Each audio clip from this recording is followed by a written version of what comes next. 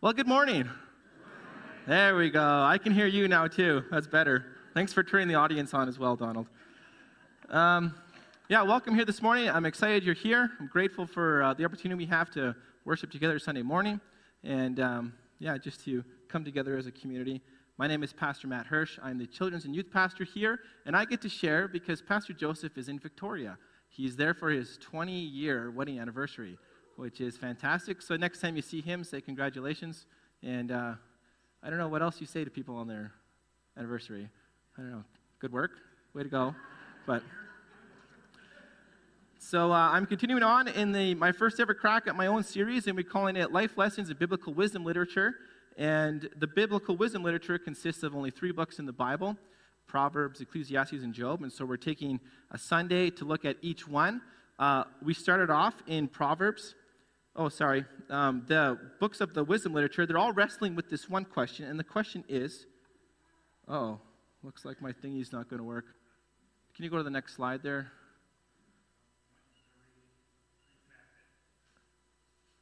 Donald, can you come reconnect this? While Donald is coming, we'll just keep going. But the question that they all ask is this question of how to be good at life. How do I live life well? How do I succeed at this thing called life? And each book answers that question in a different way and it isn't until we experience the wisdom of all three of the books and hold their answers in tension that we truly get a biblical answer of how to live the good life.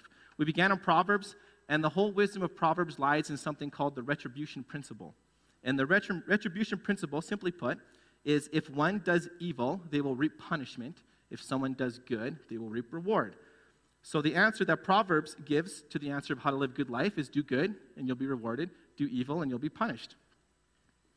Proverbs also sees this type of wisdom as an attribute of God. It's a part of who God is. And it also says that all wisdom begins with something called the fear of the Lord. Last time we were in the book of Ecclesiastes and we were introduced to Kohelet, or the teacher, and he observed that life isn't always fair, like the way that Proverbs says it is. Sometimes you do the good thing and you don't get rewarded. Sometimes the people who aren't doing good, who are doing bad in the world, seem to have, be living life quite well. And this led him to conclude that everything is hevel.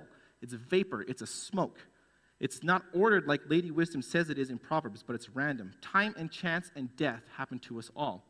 So he concluded at the very end that the key to living the good life is just to be present in life. Eat, drink, and be merry. Enjoy the life that you have. Don't obsess about the future, don't dwell on the past, but live in the moment. Live in the present. Enjoy what you have right now. Enjoy a sunrise, a good cup of coffee with a friend, a meal uh, with a loved one. Be present in the moment. And the author of Ecclesiastes, he offers his own ecclesi- uh, conclusion at the end, and he tells his readers that what the teacher was right in what he said, but in the end, you should still fear the Lord and keep his commandments, because in the end, God will make every good deed known, whether or every deed known, whether good or bad. He is the ultimate judge. So we have one more book to go. We have one more person to meet, and so we are going to tackle the book of Job. We have met Lady Wisdom, we have met the sharp middle aged critic, and now we're going to meet the weathered old man. And we're going to be moving at lightning speed. We're going to try to do the entire book of Job this morning. So we're going to be going fast. If you have your Bibles with you, open up to Job. We'll be starting at the beginning. I'll have most of the scriptures up on the back wall if you don't, um, if you don't have your Bible with you this morning. But Job is a very, very, very long book. It's a very, very dense book. It's a very complicated book. Scholars still struggle on how to, to translate some of the words. So if you're into biblical scholarship and you want to translate ancient Hebrew, there's still work to be done. You can go for it. So we're going to get into Job today. Before we do, let's just pray. Father God, thank you for this morning, and uh, thank you again for the opportunity to share. And we just pray that you'd bless Joseph and Sherry this morning as they are in Victoria, Lord God. Uh, thank you for 20 years of marriage. We pray for many more and that their um, marriage would just be a shining example of your love for us, Lord God. For this morning, we pray that you would just be with us as we uh, gather together and look into your word and uh, try to grapple with some, some really real, intense things, Lord God. Uh, I pray for this morning, just open ears and open hearts, Lord God, and for myself, uh, may the, the words of my mouth and the meditations of my heart be pleasing in your sight, Lord, my rock and my redeemer. So, if you go into the gym at Prairie Bible College, you will see up in one of the top right corners, you will see a soccer jersey. It is hung there. And this soccer jersey, it belonged to a student that went there uh, a few years before I got there. And uh, this student, one night, him and his friends, they decided to just go out for a little drive. It was late at night, and they hopped into their car and they left town. And they came to a railroad crossing. And what they didn't know was that before that, a train had actually gone across this railroad crossing and it actually lost a car. It had lost a flat deck, empty trailer. And that trailer stopped directly in the path of the railroad crossing. They didn't see it. They ran right into it. And now that jersey hangs in the corner of the gym in memory of him. A total freak accident. How does something like that happen? It reminds me of this country song that basically tells the same story. It's called The Jersey on the Wall. And in the chorus, uh, the author, when she, she sings it, she says that when she gets to heaven, she's going to ask God some questions. Stuff like, how do you make the snowflake? Are you angry when the earth quakes? How do you keep this big rock spinning? But the last question that she wants to ask God, she wants to ask him, why can't you stop a car from crashing? Why can't you do that? The second verse hits the nail right on the head when she says, I bet somewhere there's a yearbook in a box under a bed with the senior picture missing and a loving memory instead. And somewhere there's a mother who stopped going to church because her plan quit making sense down here on earth. It's just a, an emotional song. I remember the first time we heard that song, Megs and I were leaving Banff from uh, a retreat. And so it was like this happy moment. You know, we just had a great time. And then we listened to this song. But it's a, it's a, it's a great song. When tragedy strikes, the response that many people have is the exact response of the mother in that song. I can't tell you how many teens, young adults, grown adults, I can't tell you how many of them tell me that they don't believe in God. And the reason they don't believe in God is because they don't want to believe in a good God who would let suffering happen. They want to, don't want to believe in a God who would let that car crash. And they end up asking the question that many of us are asking Where's God? Where is He when tragedy strikes? What is He doing up there? What is He thinking? Because His plan has quit making sense down here on earth. How could a good God allow war, allow natural disasters? Megs and I, we just recently watched a movie about the 2004 tsunami that hit Thailand, where 230,000 people were killed. 37,000 are still missing. Their bodies were never found. People often approach the book of Job to try and solve this problem. They, they approach the book of Job to try and answer the why question. Why is it that bad things seem to happen? Why is it that bad things happen to good people? Why does anyone suffer at all? However, the book of Job, it doesn't actually answer this question at all. Rather, the book of the Job is exploring the type of world that we live in. What type of world is it that God has ordered and set before us? And what does that say about who God is? It just shows us a small glimpse of where God is when tragedy strikes. The book of Job is a very long book, it's 42 chapters in length, and the structure is actually quite straightforward. Basically, the structure of the book is there's two chapters of narrative that introduce the story, and then there is 38 chapters of dense Hebrew poetry that take up the majority of the book. And at the very end, there's a, there's a narrative epilogue that concludes the story. The book starts by introducing us to this man named Job. And this guy, um, from what we see in the first introduction, is he is blameless. He is upright. He's a really great guy. He's so good, in fact, that he offers sacrifices for his kids just in case they made a mistake somewhere. This is the type of guy he is. And on top of all this, we learn that he is loaded. This guy has stuff. He's got camels, sheep, oxen, donkeys. For whatever reason, when you, when you read the book of Job, the author is just obsessed with donkeys. Like they just show up everywhere. Specifically, the wild donkey. The author loves the wild donkey. I've never met a wild donkey, but the way he describes it, I'm like, I want one. I want one of those things. But anyway, so Job, he's the richest guy in the area. And it seems kind of counterintuitive because, from my experience, sometimes the richest guys in the areas aren't necessarily the most upright and blameless. Like, they probably didn't get rich by being upright and blameless. But here Job is. He's the richest in his entire area. He's upright, he's blameless. And in the next verse, we get this interesting scene. Verse 6, it says, One day, the angels came to present themselves before the Lord, and Satan also came with them. This is how the NIV translates it, but I really like how the ESV translates it. I think they do a better job. It says, Now there was a day when the sons of God came to present themselves before the Lord, and Satan also came with them. Sons of God is a better translation, and what this does is it introduces us to God's divine council. It's this group of spiritual beings that assist God in governing and ruling the universe. And with them comes Satan, which seems kind of, um, kind of odd and peculiar. In fact, scholars have, have uh, this has been an interesting passage, or passage for discussion for many, many years. And recently, there's been a debate going on in biblical scholarship about who this figure is. Who exactly is it? And the whole reason for this is simply because of the presence of a definitive article in the original Hebrew. So, what that means is every time the Hebrew word for Satan, which is Satan, every time it shows up, there's the in front of it. So, it's Hasatan, not just Satan. And basically, what that turns it into is it turns it into a title rather than a personal name. If you have a good study Bible, it'll take note of this if you can read it. We still translate it to be the big adversary, um, Satan himself, but scholars have begun to uh, debate whether or not that is the best translation. So, of course, this is a massive rabbit hole that you can go down, and I'm not going to this morning. And so, for this morning, I'm just going to say what the original text says. I will just say the adversary, um, because that is how to literally translate that phrase. So, if you hear me say that and it says Satan in the verse, don't freak out. That's just why we're doing it. If this stuff interests you, come see me afterwards, and we can go down the rabbit hole together. It's a lot of fun.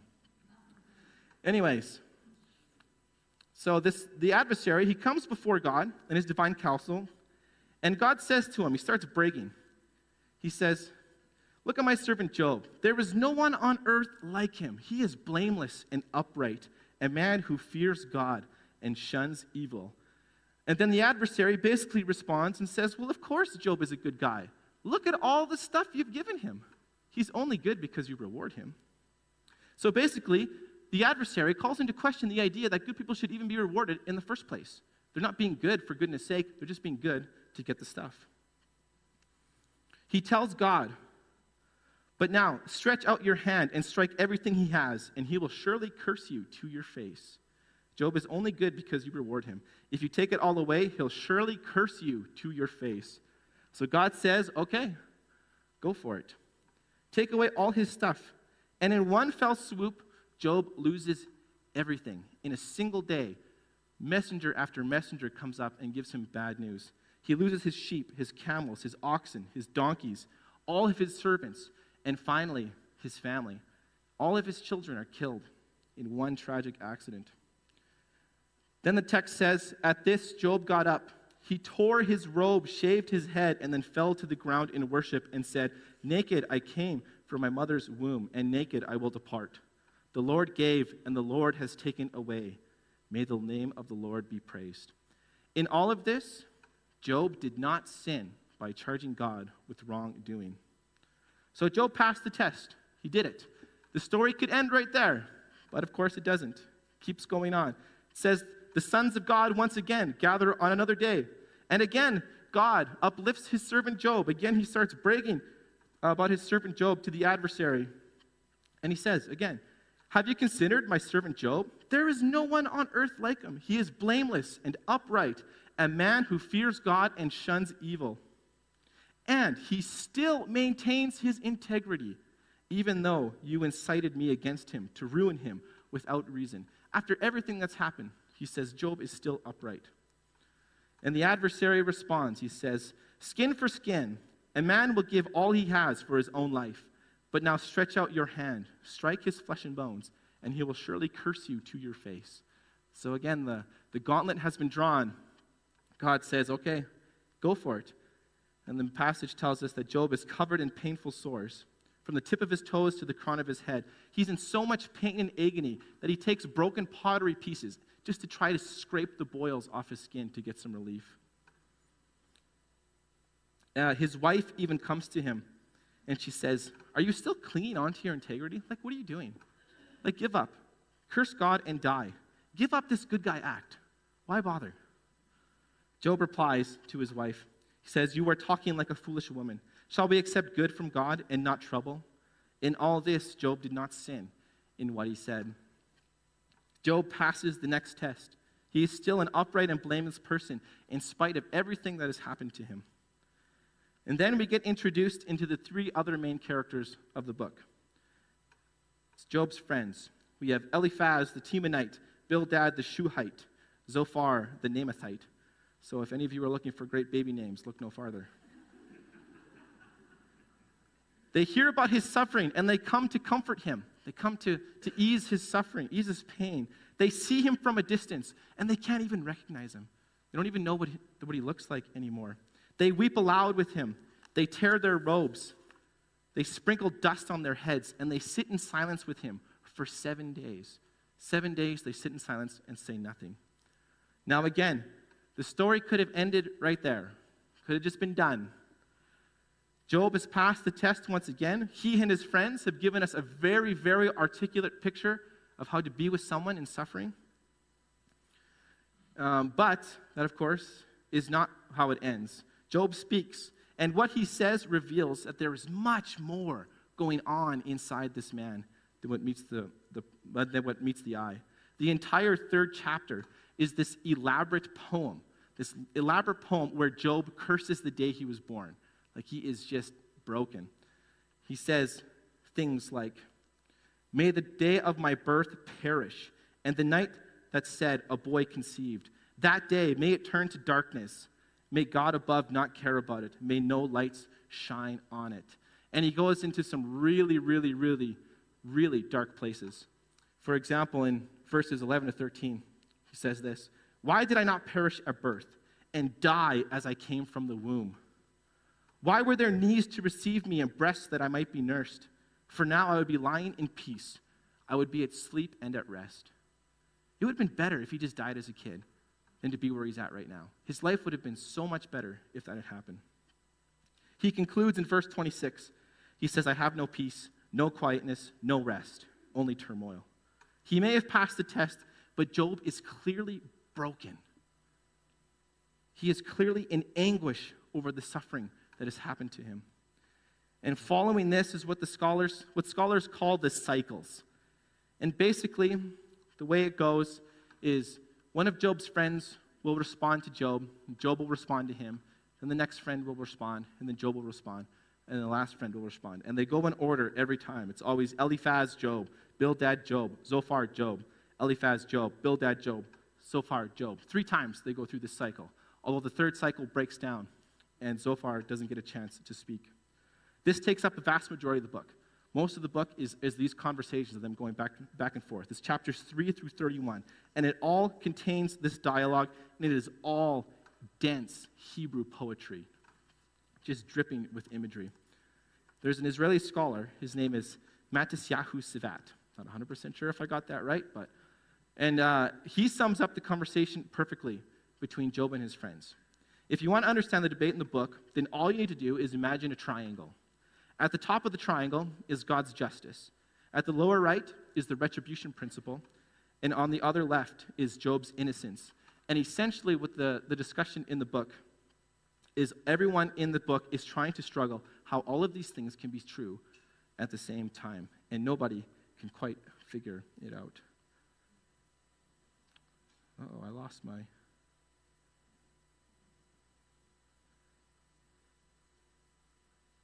I lost my playlist here. Well, if I had it here, I had made a nice little graphic for you of the triangle. Is it really? Fantastic. That is just the greatest thing ever. So there you go. There's the triangle. You guys have probably all read it already. So this is this is the tension of the book.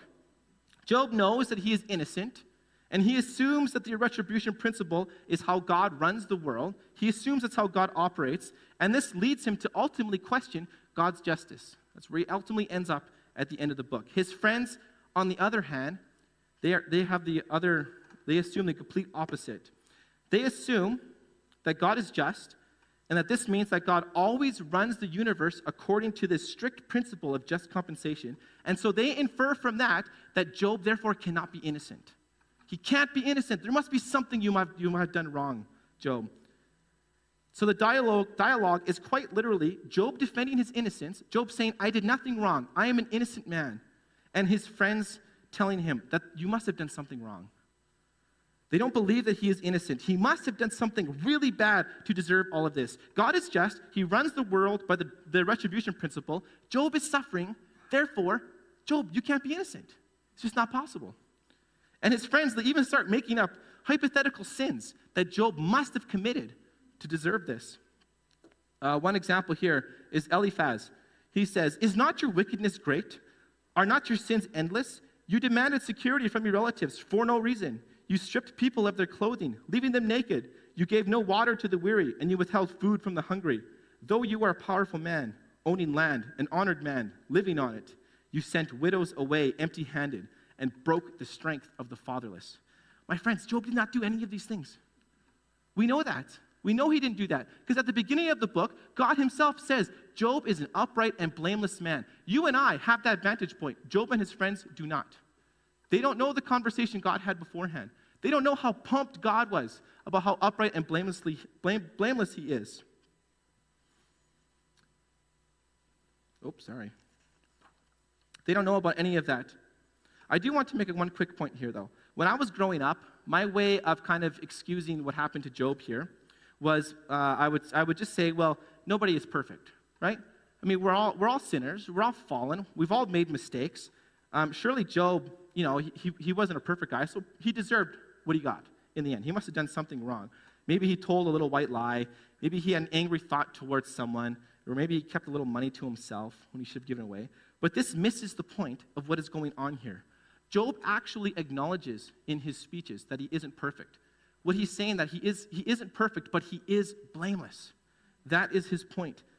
The point is that he didn't do anything wrong, uh, anything wrong to merit this particular type of suffering. He might have made a little mistake here and there, but he didn't do anything this grand to require this amount of suffering. So if we look at our triangle one more time, Job's friends, they have this point of view that God is just, by which they mean he runs the world according to the strict principle of justice, the retribution principle. Therefore, Job must have sinned, and his friends, they defend this point to the end. Job has the opposite point of view. Job is insisting that he is righteous, and he assumes that God runs the world according to the strict principle of recompense. And so, as the emotional intensity of the book ramps up, as it gets heavier and heavier and heavier, Job starts calling his friends things like windbags and worthless counselors. And eventually, the conclusion that he comes to at the end is that God is unjust. That's where he, that's where he ends up being at, is God is unjust. He calls into question the justice of God. And then eventually, he just stops talking to his friends altogether. He doesn't even bother re- responding to them. And he just starts directly lobbying complaints at God. He's just, he's just fed up with God. And in his final, his final words, he says this. He's talking to God. He calls God to come and testify. He says, Oh, that I had someone to hear me. I sign now my defense. Let the Almighty answer me. Let my accuser put his indictment in writing. Surely I would wear it on my shoulder. I would put it on like a crown. I would give him account of every step. I would present it to him as a ruler. So, what Job is saying right there, and he writes his final defense, and he says, If only God would just show up. Like, where are you, God? If only you would just show up, and if only you would write out every single thing I have done throughout my whole life, that list would be so fantastic, I would put it on my shoulder. I would wear that list on my head like a crown. You could use that as a ruler to judge the actions of others. That's how great it is. That's Job's, Job's um, or last, last words to God. If only God would do this, then everyone would see that Job's suffering is, that is not warranted and that God is unjust. He basically is demanding God to come and defend himself. We get a very, it's almost like a courtroom scene. Come and defend yourself. Come and answer how you could let this happen. He's saying, Where are you, God? What are you doing? How could you let this happen? You must not be just. And then Job, he goes silent. He just gives up. He's done talking. Before we get to the good part of the book, there's one more thing that happens, and it's kind of it's kind of random, it's kind of out of nowhere. But all of a sudden, after Job says his last piece, one more friend shows up. We get no introduction of when he shows up. We have no indication of, of how long he's been sitting there. All of a sudden, he is just there. And his name is Elihu. And we aren't given any indication of when he shows up. And when he talks, he is long winded. He has just one really, really long poem. It's five chapters long, chapters 32 to 37. So I'm not going to get into the, the nitty gritty of, of everything that he says, but this is, this is the, the summation of his point. He's, he is mad at Job for lodging his complaints at God. He's mad at Job. How could you say these things about God? But he's also equally mad at Job's friends. He's saying, You guys can't prove him wrong, and yet you condemn him anyway. Like you guys, you guys, or Job might be calling in the, the justice of God, but you guys are acting unjust in, in your responses to him. And so he goes off on this tent. he just goes off on them and all this stuff.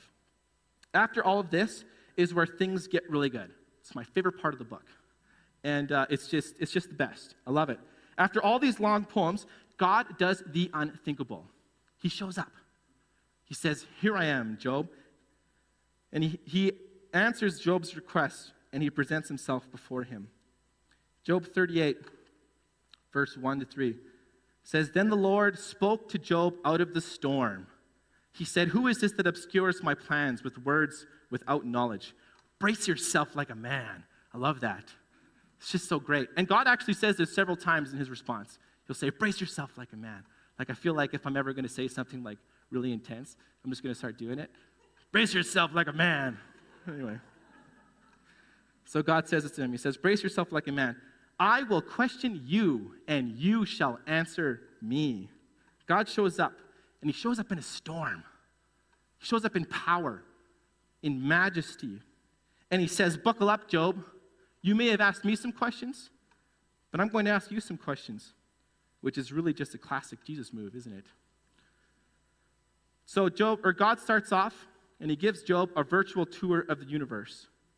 And the, book, the song that we sang this morning that Kevin chose, is Indescribable, is actually based off of this, this part of this speech. Job, or God gives Job a virtual tour of the universe. And he asks Job's questions like, Where were you when the foundations of the earth were laid?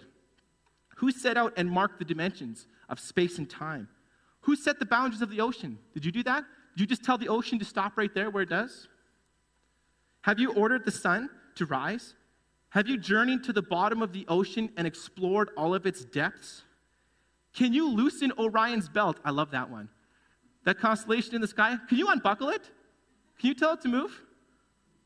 Can you bring forth constellations and seasons? And we can easily update this to our time. God is essentially asking Job questions like, hey, Job, do you know what gravity is? Can you explain why light is both a particle and a wave?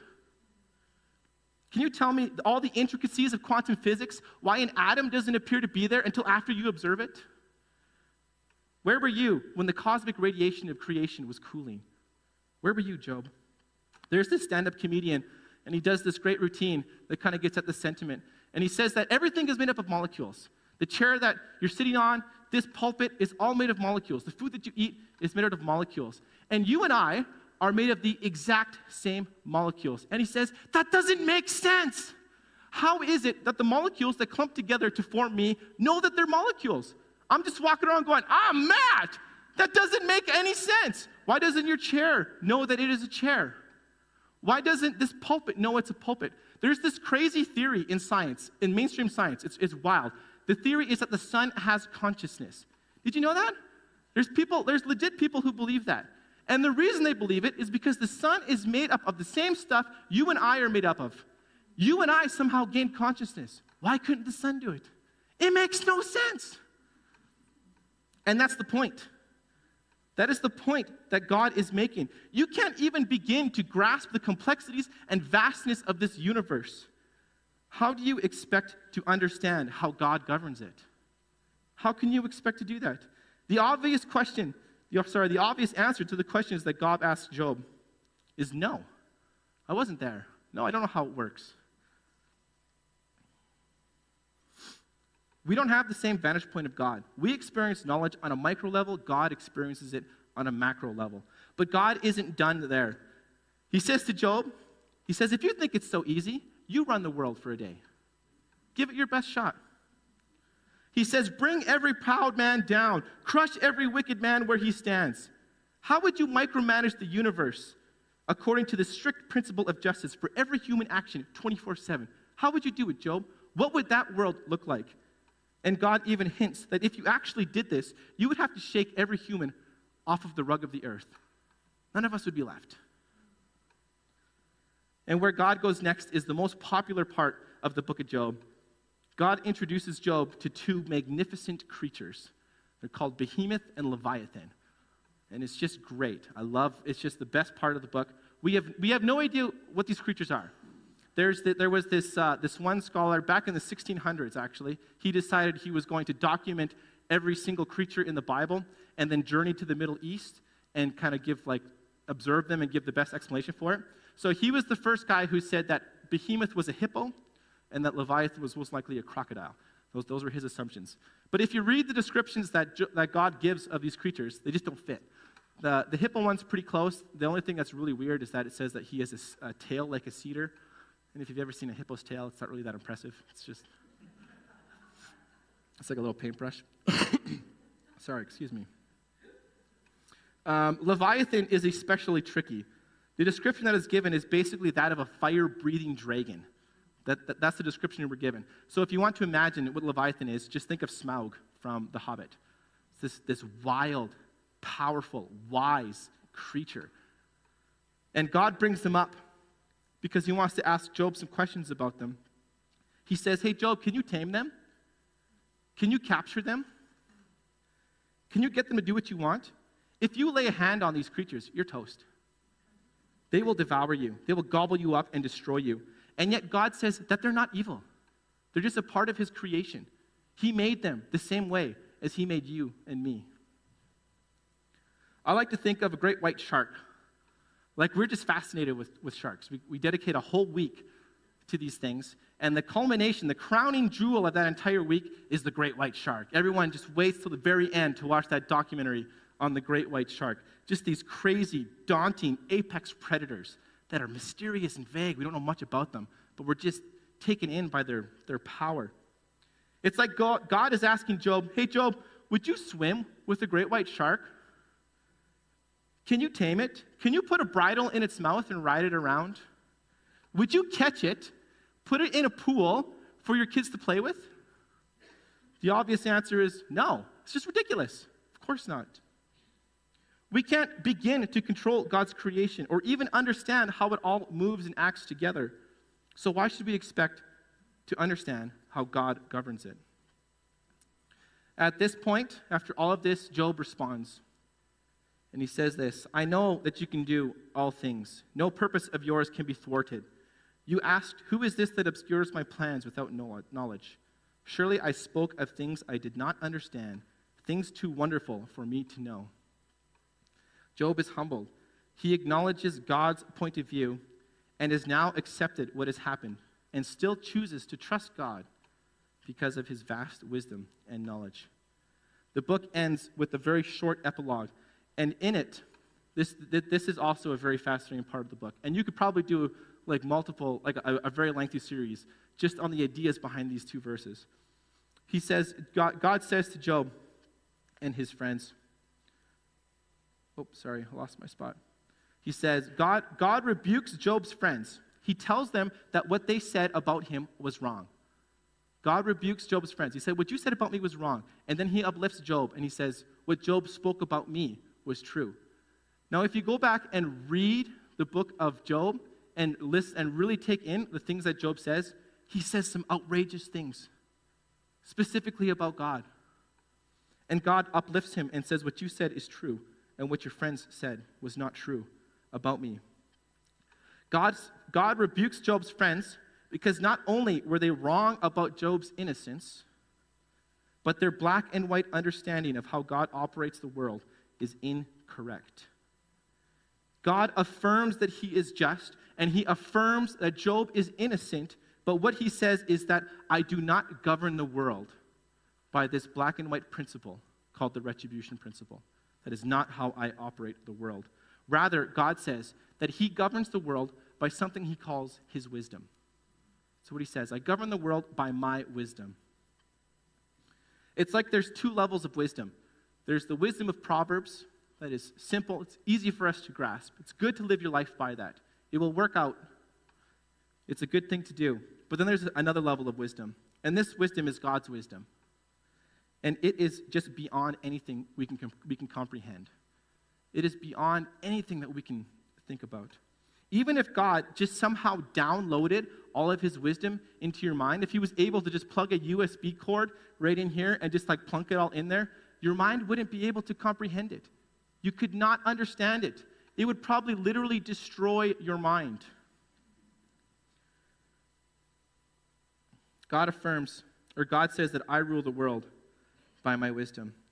And then the book closes, and it says that God restores to Job double of what he lost and blesses the later part of his life more than the former. So God gets back twice, or Job gets back twice as much as what he lost. But because of our new perspective, we should not understand this to be a reward. It's not a reward. God could have done it, he could not have done it. But rather, what this is, is a gift bestowed to Job because of God's wisdom. God decided it wise to do this for Job, to bless Job in this way. Okay, so what? What does that mean for me this morning? What does that have to do with us today? What does this have to do with the grand story of our lives? And more importantly, where is God when tragedy strikes? The entire sentiment of Job, the answer that Job gives to the question, how do you live the good life? It could be summed up into one nice little phrase for us this morning. One nice little phrase. When God shows up in Job, he doesn't give an answer to why bad things happen. He doesn't give an answer to why there's suffering in the world. He doesn't solve the problem of evil. All he does is he gives an invitation an invitation to trust his wisdom. That is the entire thrust of the book of Job. Job is given an invitation to trust God and his wisdom. When you get to the book, end of the book, God is asking Job and the reader to trust. God acknowledges Job's suffering and he acknowledges that it's undeserved. He says that in the beginning of the book. But what he asks him to do is just to simply trust. Trust that there is a larger perspective. Trust that there is so much more going on in this world than we can understand. And also trust that that unjust action that happened, it actually makes sense in some way, but in a way that we will never be able to grasp. God doesn't solve the problem of evil. He doesn't answer that question. He just reminds us that the way he operates and the way he thinks is on an entirely different level, and that He has a plan.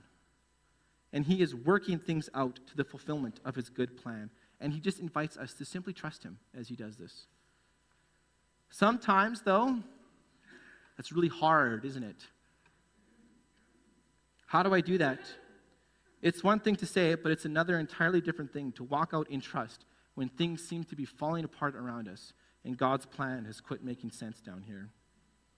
So this morning, I just want to give two simple ideas to hopefully help us walk this out. As I, as I reflected on this, this is what two things that came to my mind. The first key is humility.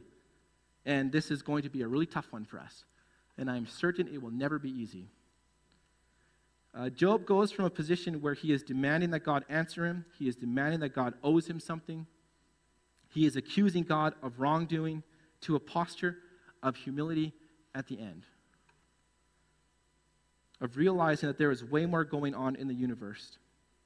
And it is through this posture of humility that allows Job, and it allows us today, to find peace. Job comes to a position where he understands his place. It doesn't matter to him anymore what is thrown at him, it doesn't matter what life brings his way. He is at peace and he is ready for it because he trusts God. Humility is the key. And we struggle with this in the West. We have a hard time. We're drunk with freedom. We are steeped in hyper individualism. Everything is all about me, all about what I want. C.S. Lewis wrote Humility isn't thinking less of yourself, it's thinking of yourself less. It's pretty difficult to see things from someone else's point of view, especially God's, when all we do is look in a mirror. And lastly, in order to trust God, you got to trust others. There's a, a trust deficiency in our culture. Sometimes the reason we have a difficult time trusting God is because we don't trust anybody else around us. We don't trust anyone enough to let them in and see us in our, struggle, in our, our suffering. Sorry. We struggle being vulnerable with one another. We don't want to let anyone in because we're afraid that in our weak and vulnerable state, people are just going to hurt us or they just won't quite understand what is going on. Just look at Job. When everything was stripped away, when everything was gone, when he, when, oh, sorry, he tore his robe, he shaved his head, he is sitting in the dust and the ashes. And what does he do? He invites his friends to come and sit and join him. To join him and weep aloud and then sit in silence for seven days. Do you trust people in your life enough to let them see you at your worst? To invite them into the depths of your suffering? If you want to get to the point of being able to trust God, start by trusting your brothers and sisters in Christ. One thing we quite often forget is that when you said yes to being a part of this thing called God's family, you said yes to being each other's siblings. And the depth of that relationship is deeper than any of us can imagine. What you do for your brothers and sisters is akin to what you do for Christ. So start by trusting one another. Start by trusting God's family. So that, that concludes the three books of biblical wisdom literature. That's all three of them. Each one takes a different approach to living life well, and it isn't until we hold all three of these in tension that we are truly able to have a good vision for what the good life is. And the theme that runs through all three of these the thing that runs through, that connects every single one, is fear the Lord and keep his commandments. That is the thing that comes, that comes out from every single one. Do the right thing, even though things won't always work out, and reach a place of humility before God that trusts his wisdom.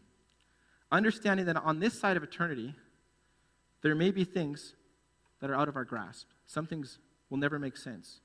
Just fear the Lord and keep his commandments. Now, this is all well and dandy, this is all fabulous, but it doesn't really cast for us a great vision for actually going through suffering. It doesn't really cast us a great vision for someone who's in the throes of suffering. It doesn't matter what logical or wise explanation you can give someone when they're in suffering. It doesn't really matter. When they're in the middle of it, they don't want to hear it. It doesn't help. When you're in the middle of anguish, it just won't help. And oftentimes, you just don't want to hear it. And this is a universal experience across all religions, demographics, and people. Everyone experiences this. One thing that God does give us, though, that no other group can claim, is a practice. It is a long lost practice that is meant and designed to help us navigate the pains of this life. It gives us a framework to express our experience and our suffering to God and to others. And it is distinctly Christian. There's no other group that can claim this, no other religion contains it. We catch a glimpse of it in Job's response. It is the practice of lament. And so, next time, to conclude our series, we will look at lament in the Bible. And hopefully, we will regain, regain some much lost wisdom from a much lost ancient practice. Let's pray. Father God, thank you again for, for your word. Thank you that we can come to it and get lost in it. Thank you how it reminds us in different and exciting ways of who you are, Lord God. Father God, uh, my prayer this morning is that as we, as a church family, begin to trust you, to walk out and trust with you, Lord God, that we would do that from a position of humility and from a position that also lifts up others and begins to infill trust in them. Thank you for your word again, and bless us this morning. In your name, amen.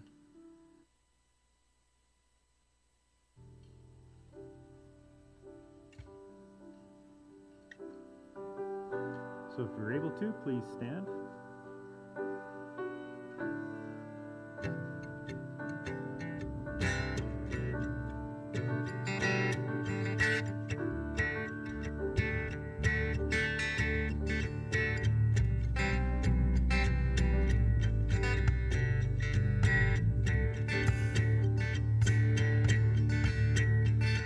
The song of the redeemed rising from the African plain. It's a song of the forgiven, drowning out the Amazon rain. The song of ancient believers, filled with God's holy fire. It's every tribe, every tongue, every nation, a love song born of a grateful choir. It's all God's children singing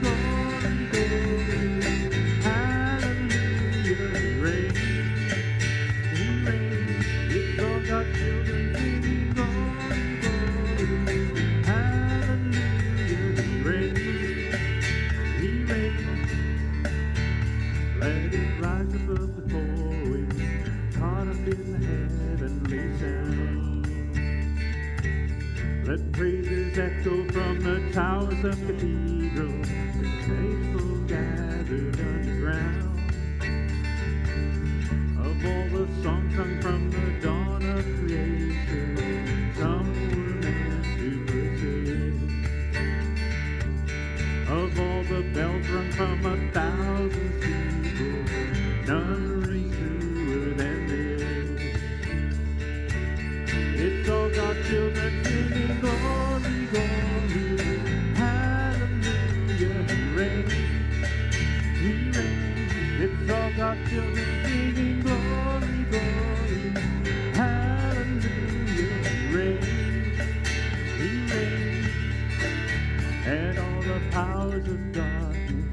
tremble at what they just heard.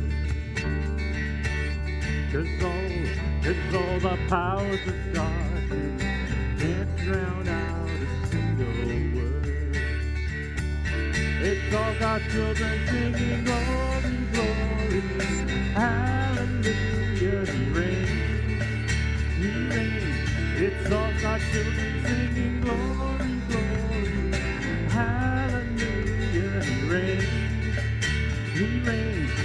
all God's children singing glory, glory, hallelujah, He reigns, He reigns. It's all God's children singing glory, glory, hallelujah, He reigns.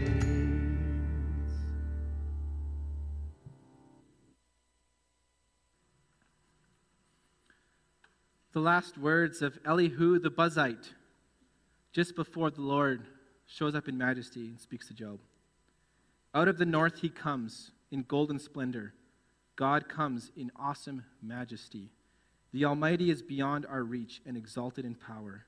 In his justice and great righteousness, he does not oppress.